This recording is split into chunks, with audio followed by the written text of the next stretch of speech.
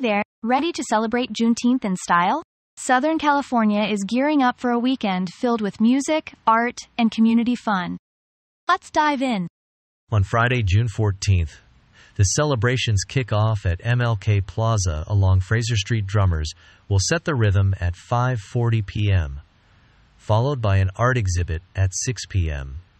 It's going to be a blast.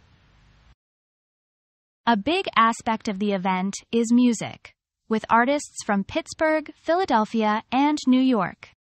Chiluvia Zulu, the director of diversity, equity, inclusion, and belonging for State College, reminds us that it's really important to honor the history. Saturday, June 15th. Get ready for a block party starting at noon and going strong until 6 p.m.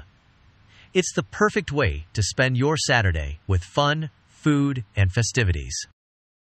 And the fun doesn't stop there. The borough plans to honor Juneteenth again on June 19th. So mark your calendars and join the celebration of freedom and culture.